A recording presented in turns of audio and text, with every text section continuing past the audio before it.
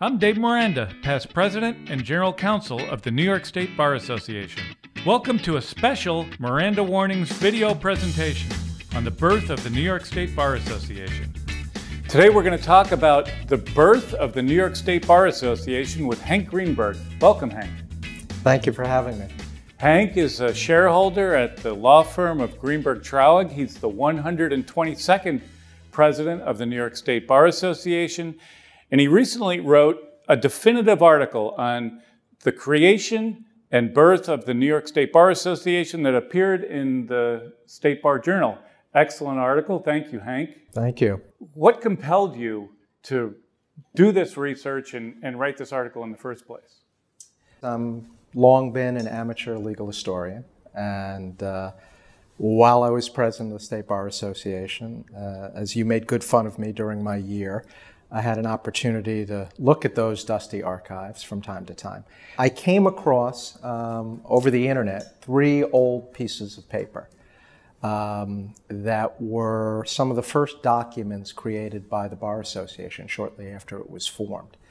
And one of these documents was this magnificently produced small pamphlet that had within it the minutes of the convention held on November 21, 1876, that established the association, the founding documents, if you will, the Constitution and the bylaws, and the names of more than a thousand lawyers. And then I quickly discovered that nearly 75 years after that little pamphlet was created, the association in the 1940s created a facsimile of the very same document and distributed it to law libraries around the country. So all of that sparked my curiosity, and that's how it began. And so, as you mentioned, the formal formation of the New York State Bar Association was November 21st, 1876. Tell us a little bit about what was going on in the state and the country at that time where it would make sense for the, there to be a New York statewide legal association? Well, first of all, 1876 was an unusually eventful year in America. Uh, the nation was celebrating the centennial anniversary, uh, the signing of the Declaration of Independence in 1776. Um, in every realm of American life, extraordinary things were happening. Alexander Graham Bell patented the telephone. Thomas Edison was thinking about how to create a phonograph. And in New York and the nation politically, uh, 1876 was an extraordinarily tumultuous year. There was a presidential election. So everything's old is new again. A highly controversial presidential election that was held between two candidates, the governor of the state of New York, the Democrat Samuel Tilden, and a Republican from Ohio, Rutherford B. Hayes. And on election night, it was evident that Tilden had a decisive victory in the popular vote. But as the days went on, it was clear that four states that had the necessary votes for either candidate to win the Electoral College and become president, there was a dispute. Um, and New Yorkers were passionately interested, all Americans were, but New Yorkers were because their governor was the seeming winner of that election. And as events ultimately came to be, uh, Tilden lost. Um, a few days before the inaugural in March of 1877, the Electoral College, based on a recommendation of a congressional committee, went by one vote for Hayes. But to your question, what does all of this have to do with the law? especially in the Empire State. You have to think of a few things. One, New York is the economic center of the country. It is still today, but in a way then that's hard to imagine. It was also sort of the political heartbeat of the nation, uh, in addition to Washington, D.C. New York governors were instantaneously considered candidates to be president of the United States. And New York was then, as now, had the largest concentration of talented lawyers in the nation six to 7,000 lawyers. Bar associations, up until that point, were largely social organizations, on the whole and by and large, with one notable exception the Association of the Bar of the City of New York, formed in 1870. We now refer to it as the City Bar. And over the next few years, it became increasingly clear especially with respect to state legislative policy and the court system, that lawyers could speak with greater force if they were an organic whole, if the entire state was knitted together in a single association of lawyers. And at that time, New York, just as an economic and political proposition, upstate New York, relative to today, was even more consequential and powerful. Buffalo, Rochester, Syracuse were little economic powerhouses, in addition to the city of New York. So, upstate and downstate, there was a collective sense that the bar could be more influential in advocating in the legislature, more influential in the development of the court system and the development of jurisprudence if they were a single association. And so, up until that point, for the most part, bar associations were, as you said, social organizations where attorneys would get together socially. And now the thought was that they should have some influence on policy and advocacy and government right. and good government. So, what was the, the seed that started in, in the city bar? Um, probably the impetus for it all uh, was an article in a very influential publication, legal publication at the time, known as the Albany Law Journal. It was the most widely read national legal publication in the country. And uh, its editorial on June 26, 1875, its lead editorial, referencing the city bar's formation, was that there was a need for a statewide bar association. Uh, Elliot Fitch Shepard, who was um, a charter member of the City Bar Association uh, and a pillar of the New York City community, um, was somehow inspired to take to the city bar the idea of creating, of being the driving force to create a state bar association. Shepard was an interesting guy, um, um, enormously wealthy. Uh, he had married into the family of Cornelius Vanderbilt, the uh, Jeff Bezos, uh, Bill Gates of his time, the wealthiest man in the world. He was a corporate lawyer who also represented the New York Central Railroad, and he had a passion for starting things. And he took to the city bar a resolution in October of 1875 to create a committee that would investigate the possibility of creating a state bar association. The city bar embraced the idea, and Shepard chaired a five person committee that, with extraordinary enthusiasm, drove into this project headlong. Um, they conducted a statewide survey uh, of over 1,300 lawyers in the state. Uh, but let's talk about the survey. Just, I mean, for yeah. the, at the time, right? Yeah. didn't. It wasn't an internet poll, right? I mean, right. They actually prepared a written survey, figured out the addresses of where all the attorneys were, right? Mailed it to all the attorneys they could have the correspondence for, right? And then actually got several hundred responses back. They did. They did. Uh, actually, uh, there was um, um, a very impressive uh, response to the survey. Uh, 16 questions asking all manner of things, including dues, how members would be selected, where the headquarters of a bar association would be. Um, over 300 people said yes, create a state bar association. Only four said no. Overwhelmingly, the thought was that the headquarters would be Albany, not surprising, the capital of the state at the time. Uh, and the question that sparked the most disagreement uh, or division was over how members would be chosen. Uh, most thought they should be uh, any person who was admitted to the bar in good standing. Others thought local bar organizations ought to make the appointment. But that enthusiastic response caused Shepard to go back um, uh, with his colleagues on this committee, and they produced a report that is just brimming with enthusiasm and excitement about the project, um, with recommendations about how to actually go about creating the association. And then the, the report of this committee was approved by the city bar, and it recommended that there be a statewide convention of lawyers uh, to determine how the New York State Bar Association would be formed. And that took place here in Albany, in, in, in the capital. Shepard and his committee had an enormous amount of work to do to choreograph that event. Um, the idea of this convention, which was a popular mechanism at the time for creating things. The state was familiar with holding constitutional conventions. Was to have delegates from each of the state's eight judicial districts. Today we have 13. Back then there were eight. Each district was supposed to elect 20 delegates and 20 alternates.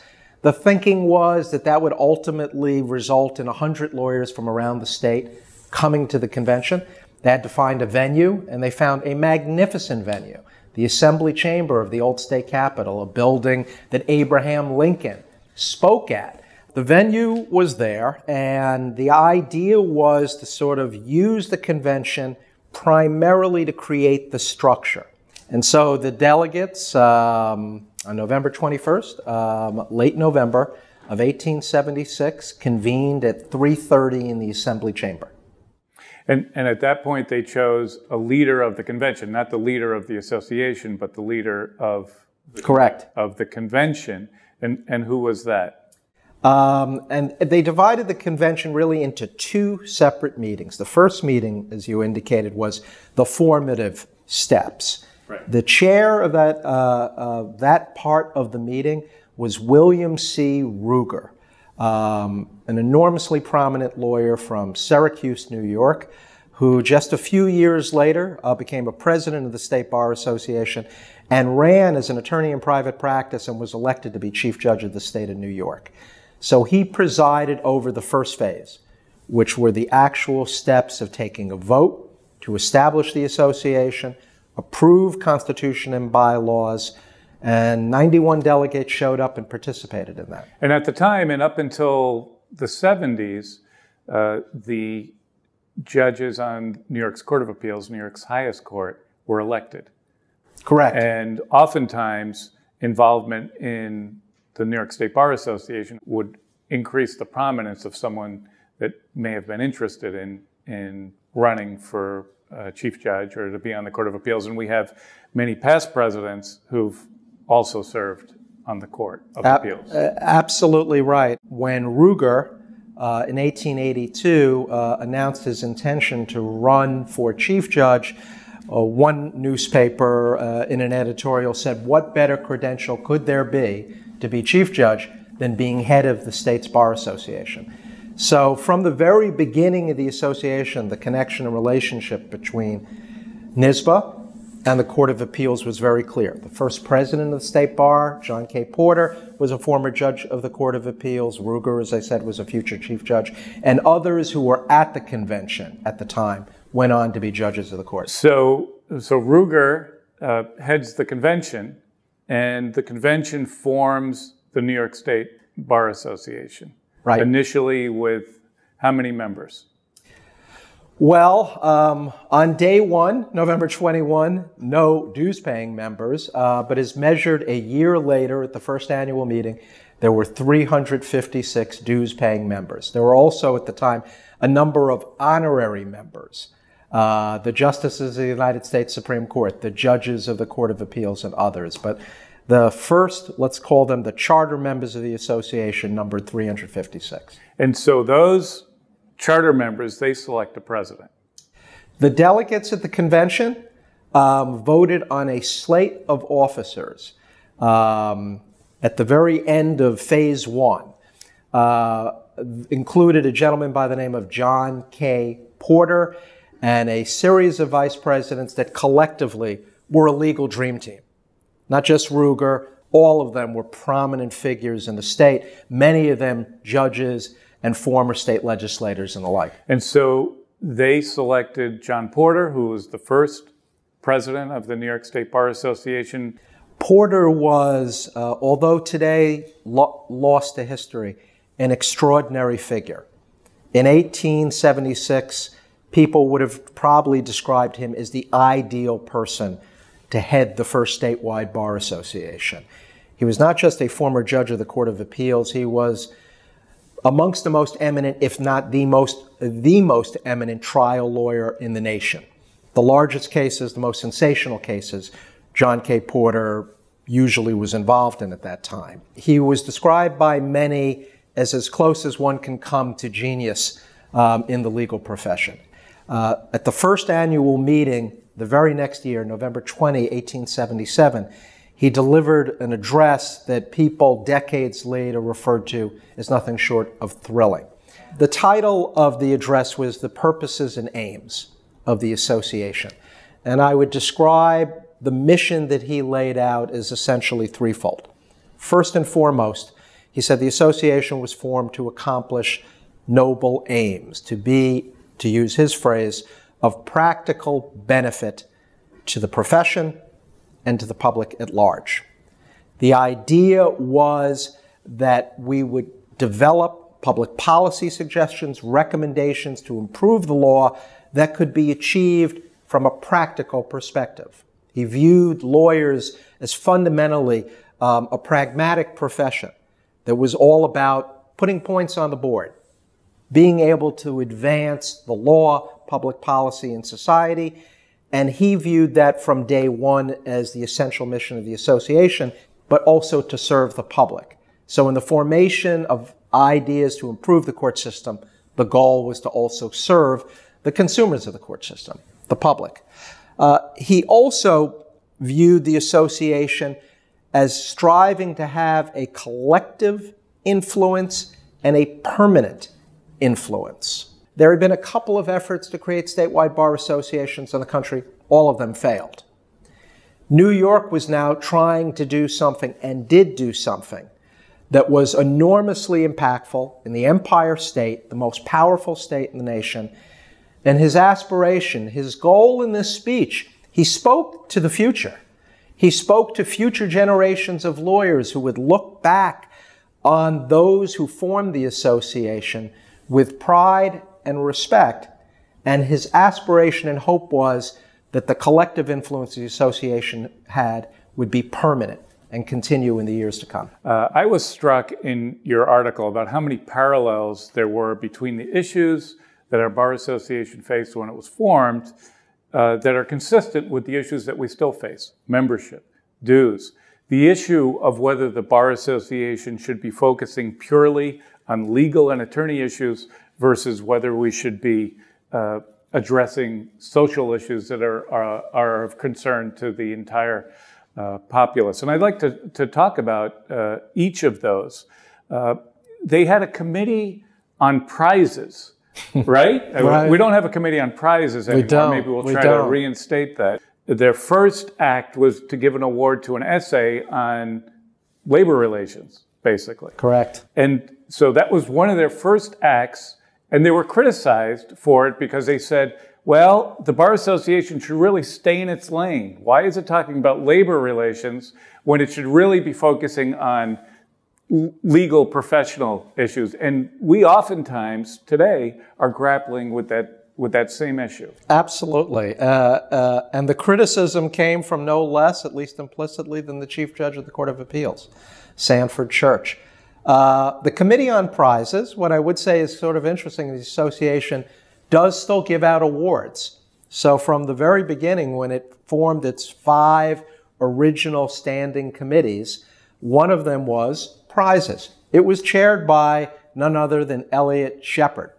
Uh, now, one thing to know about Elliot Shepard, uh, and he was a remarkable and interesting guy in his own right, uh, but he was also one of the more conservative people in the state of New York. He lectured and authored articles that extolled the virtues of capitalism um, and was critical of the then um, um, forming labor movement in America. And 1876 and 7 is right smack in the middle of what we historians describe as the Gilded Age, a period of extraordinary economic growth in the country, uh, but the disparity between uh, the wealthy and everybody else was gaping and growing. Uh, the labor movement was starting, and there were incidents of violence and riots and strikes that uh, were on the front page of newspapers all throughout this period. So if you had to find a hot button issue um, that people uh, um, would likely disagree about and dispute, it was the relationship between management and their employees, between capital and labor. And Shepard thought that would be a great idea for an essay, the first essay that was available to young lawyers who could submit it with that subject. They ultimately decided to give the award to a young lawyer by the name of Walter Howe in New York City, who went on to be uh, a politician. Um, and it was given at the first annual meeting in 1877. The person selected to give this award was the Chief Judge of the Court of Appeals, Sanford Church. I doubt he knew what he was getting into when they first asked him to show up at the first meeting. Uh, but when he entered the assembly chamber, there was loud applause greeting the Chief Judge. Um, and he gave brief remarks in which he congratulated the association on its formation, wished it well into the future, and then delivered in a few sentences a stern lecture. Um, what he said was that the association should confine itself strictly to law reform, strictly to those kinds of issues that um, were would elevate the profession, address what lawyers do in courts and in other settings and contexts, and stay away from divisive and controversial issues. He said if they followed his advice, the association would be eminently successful, and if they didn't, it would only engender dis- dissension and the association would fail. So, to your point, uh, this idea uh, that the, association, all bar associations struggle with, which is trying to identify what kinds of issues it should stake out a public policy position in, and those issues that some might think are too overtly political and not tethered in any way to the practice of law. There's the chief judge of the Court of Appeals, you know, planting his flag on the side of, and reasonable minds can disagree whether he was right or not, stick to what lawyers do. Another parallel uh, that I saw was regarding membership. Of course, the State Bar Association uh, was and remains a voluntary association, so no attorney is required to be a member of the New York State Bar Association. Talk a little bit about the thought process that went into seeking members at the time in 1876. Nothing's changed uh, for a bar leader, uh, which is, you know, among other things they have to think about being focused on the bottom line, paying the bills, uh, which is a function of having members who pay dues. And the association, from its very beginning, was laser focused on growing the membership. And interestingly enough, the person who sort of took the lead was a gentleman by the name of Rufus Peckham Jr. That was a very famous name um, in Albany. His father was a judge of the Court of Appeals, and Rufus Peckham Jr.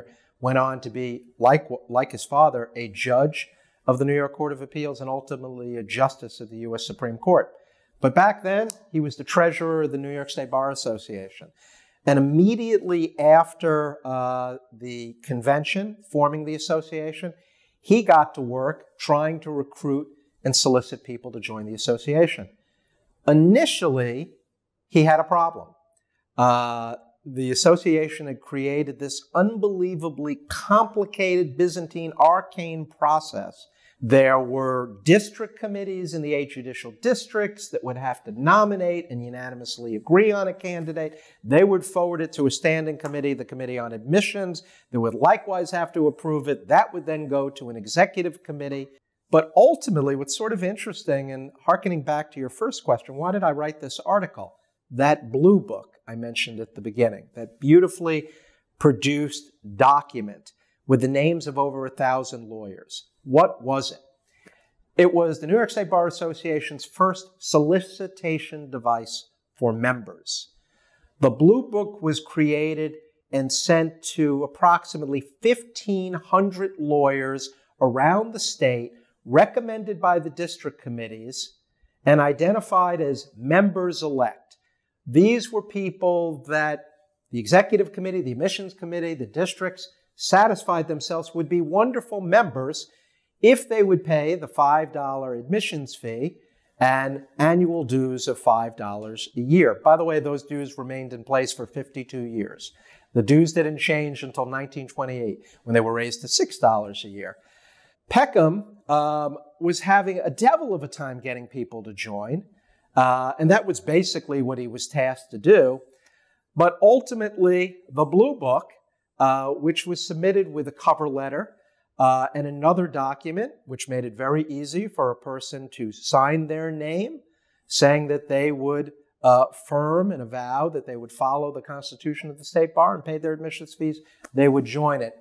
Ultimately, as the first annual meeting was starting to come around, the number of people increased so that by November 20, 1877, there were 356 members.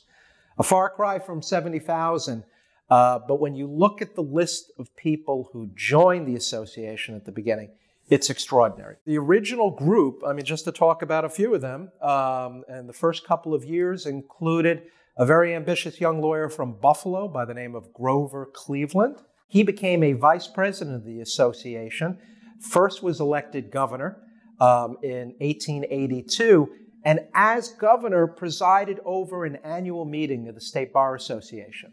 Another early member of the association was Chester Arthur, uh, who likewise became president of the United States.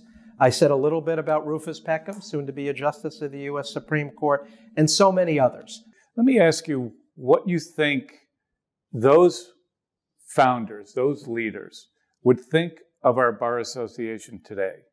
First of all, they would be astonished, absolutely astonished the technological innovations. We now have a virtual bar center, right, that can reach in a nanosecond lawyers throughout the state.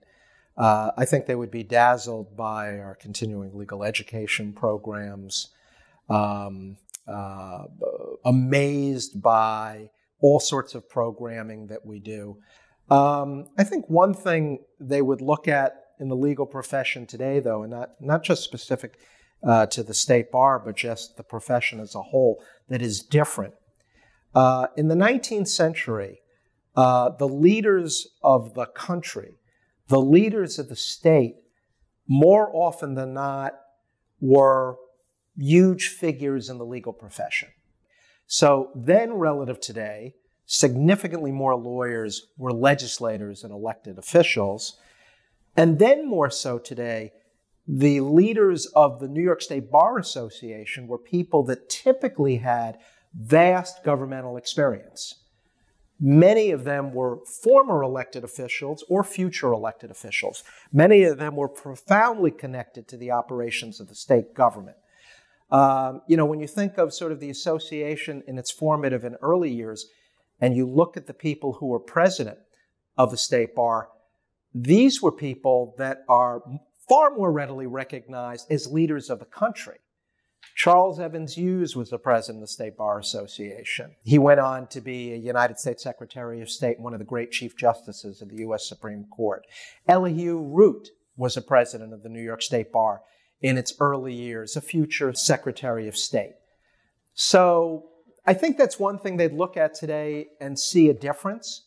Um, and it's not just the New York State Bar. I think, you know, uh, typically sort of the leaders of the great law firms of the era in the 19th century were people who moved seamlessly from government to private practice. So that's one notable difference. You know, and looking at how quickly they moved, right? They moved from concept to creation in about a year. What lessons can we take today as a bar association from the work of, of these people.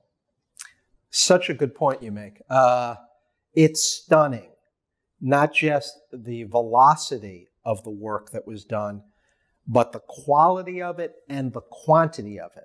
We talked about the Shepard Committee report. In a pre internet era, pre electronic mail, all snail mail, no cars, literally the horse and buggy era, they surveyed 1,300 lawyers across the state. They then collated all that information and produced a remarkable report. They then organized a convention at which, and if you read the minutes of the convention, it is stunning.